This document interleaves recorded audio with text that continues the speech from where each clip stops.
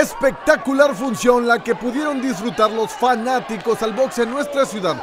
Una batalla entre pugilistas regios y neolaredenses.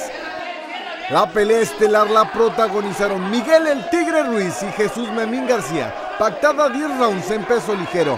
Este último se ganó la apatía del respetable por burlarse constantemente de su contrincante.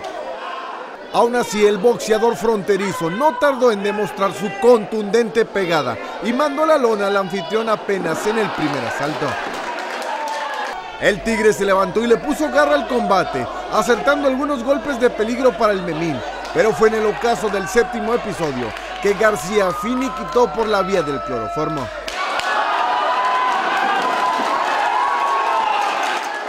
Imágenes de Ignacio Chavarría, Héctor Tello, Azteca Deportes. El vencedor de esta pelea